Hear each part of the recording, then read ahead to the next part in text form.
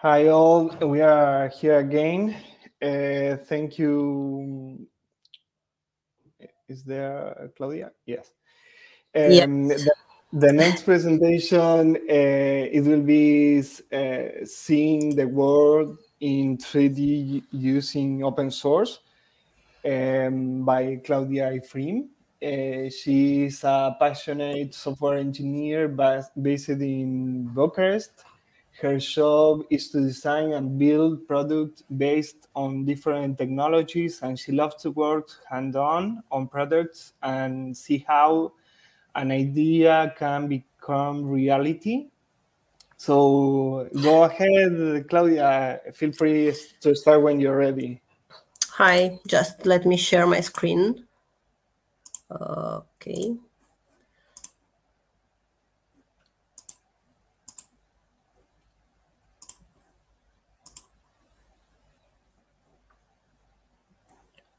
And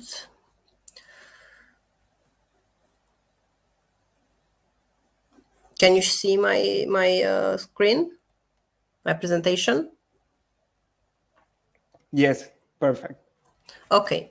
Hi i'm claudia Ifrim, and i'm a software engineer at terrasigna and today i will um, talk about the way we implemented the portal in GeoHarmonizer um, project portal that is meant to to be to um, be used by the user to um, visualize and um, analyze the metadata of our data sets that were were uh, produced in in, uh, in this project. Um, the GeoHarmonizer project is a project that want to be uh, an automatic mapping system um, that will also deliver data sets, thematic data sets uh, for the pan-European region.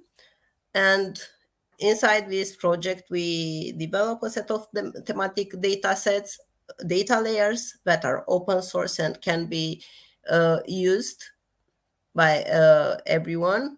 And uh, we also develop a portal that um, help the user to, to visualize those data sets. Um, we produce more than uh, 20 terabytes of data. We um, compiled uh, the, some thematic data sets uh, for, for a time series of 10 years, of 20 years from 2000 to 2020. And we have uh, um, various thematic sets based on the uh, data that we we could compile.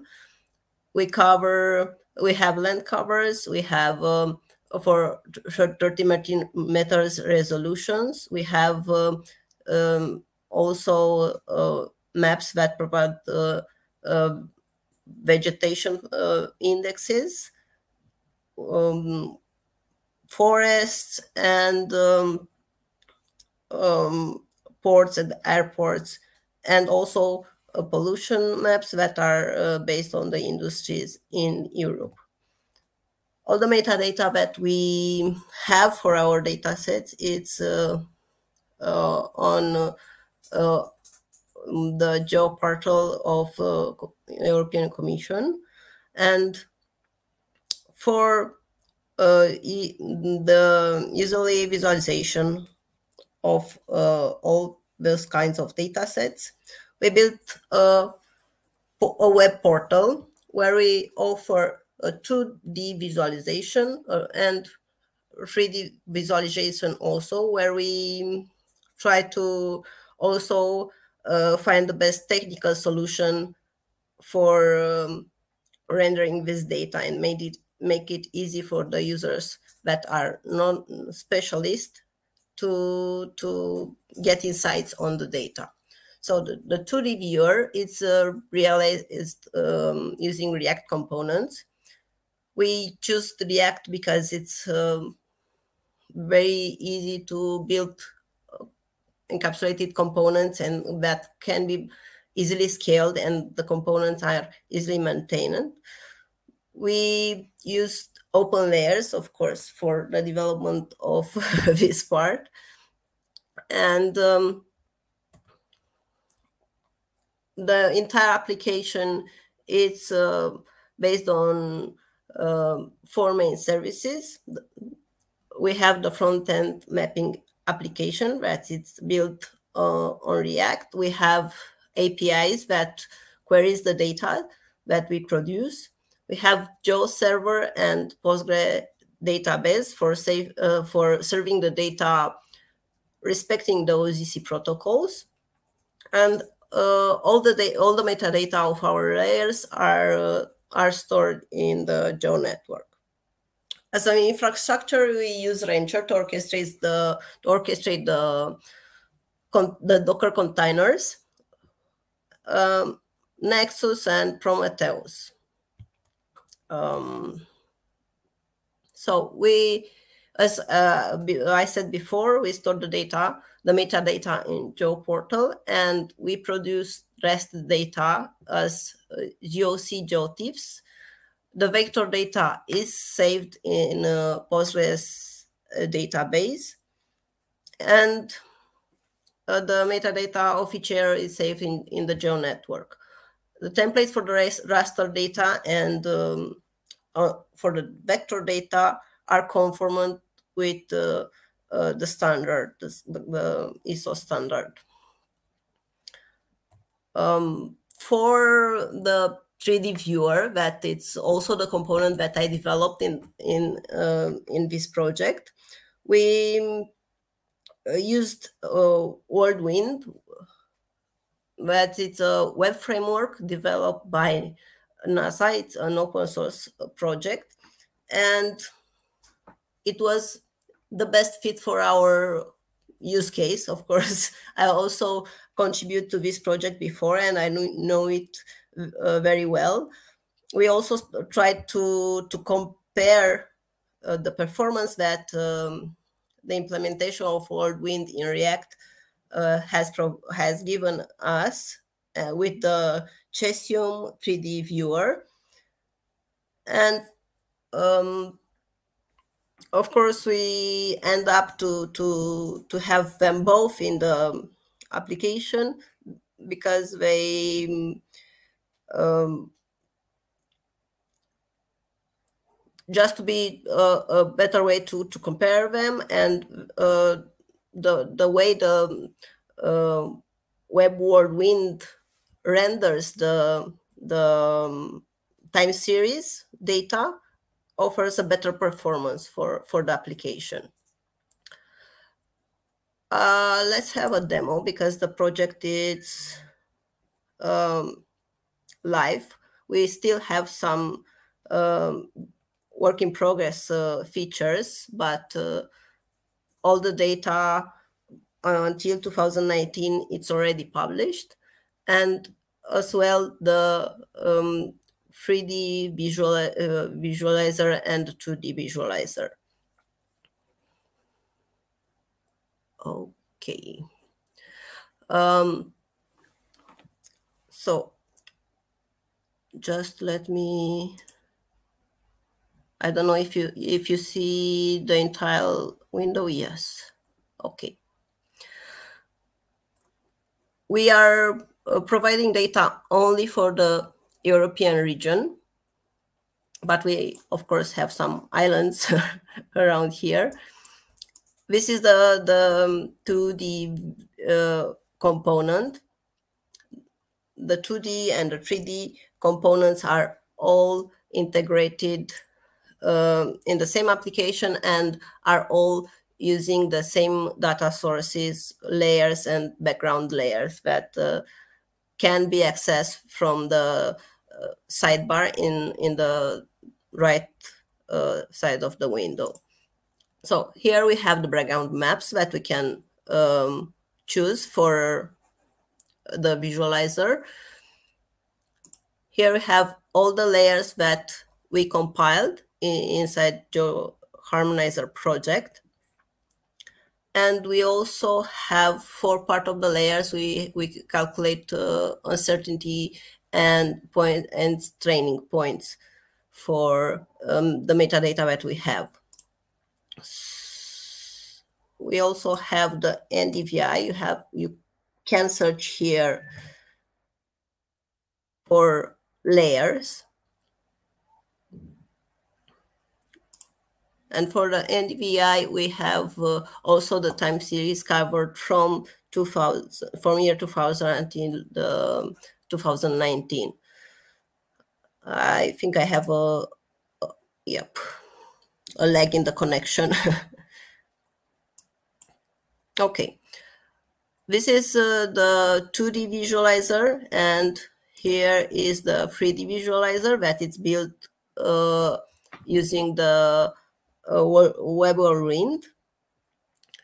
All the visualizations, the maps are have the same functionality. You can uh, pick a point and you can analyze the metadata for all the years. You, you have a um, window in the bottom of the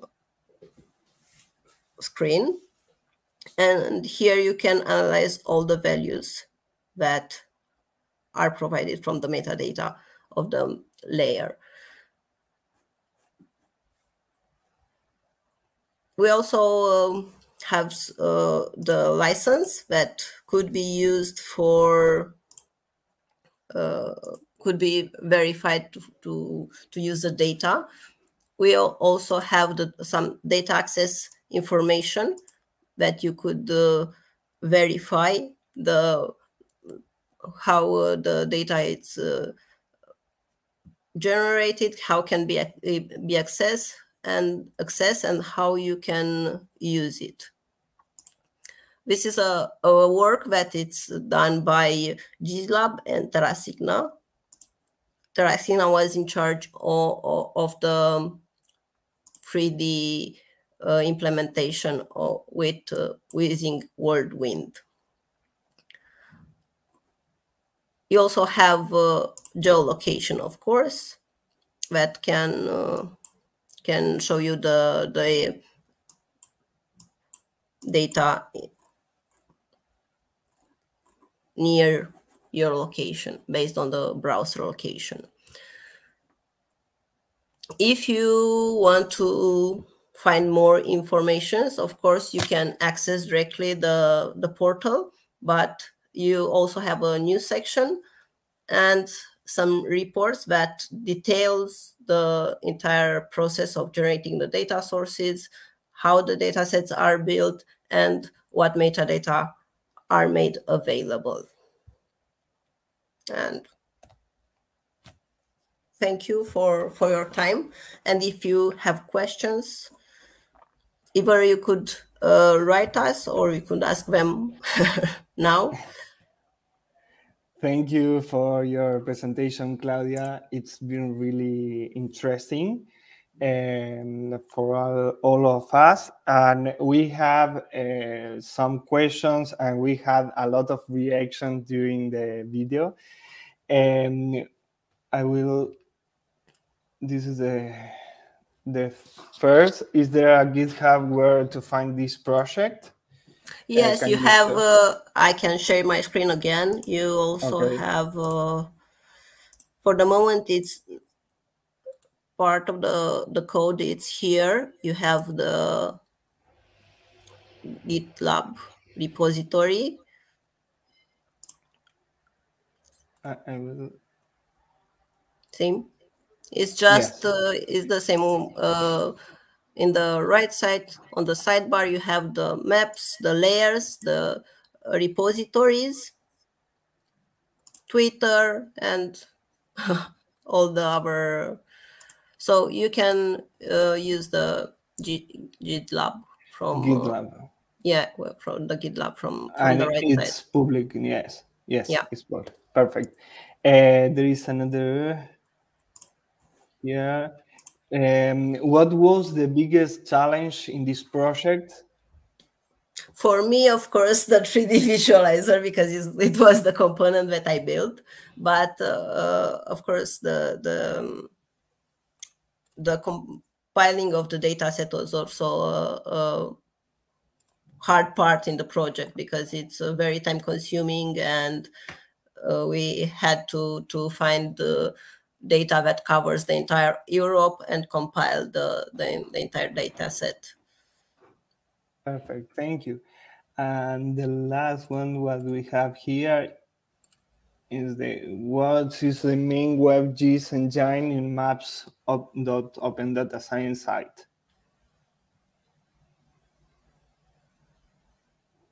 We have the um, GeoServer that serves the, the services and we use the uh, for visualizing I, I told you, you, we use the WorldWind and um, and the open layers and Cesium, but the the GeoServer behind the scene is the behind the scenes. Perfect. Uh, here the, is another one. Uh, here. No, sorry. I repeat. So both CesiumJS and WorldWind are used? Yes, we have um, two ways to visualize the data. And again, I will share my screen. okay. Okay. You have um,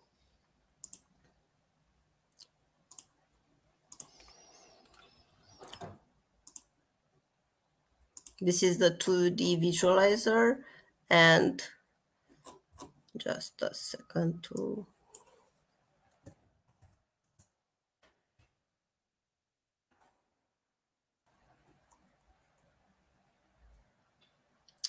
the only um, thing that uh, it's still pending is to test the performance between the way uh, the globes are rendered. And here on the 2, uh, 2D, if you press, you have the globe of Cesium provided by Cesium. The data that you, you visualize on it is the same on 2D, 3D on Cesium, and this, the, the last icon with NASA is the WorldWind implementation. So yes, we have two two globes. and Perfect. here you can easily see for time series when you have the data loaded, it's seamless for because we have a caching uh, mechanism that help us optimize the, the rendering of the globe.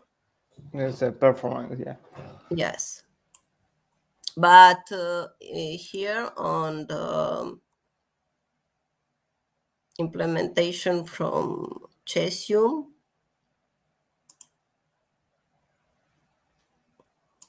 every time you, we didn't manage to, to add a, a caching mechanism, but see, every time eh, you make new calls, Perfect. Amazing project. And we have we have another one. Um, has the geo server performance been good? For the moment, yes. We had some issues when we uh, load the all the data, and we had also the um, all the viewers available. But for the moment, we didn't have any big issues that could not be solved. So I I will say yes. Perfect. So okay, uh, we don't have any question. Uh, we had a lot of reaction, and so thank you so much, Claudia, for your presentation. It was really good. Um, and now um, we are going to take a short break for a few minutes. And 10 o'clock, we will return for the next presentation. Thank you as well. Thank you so much.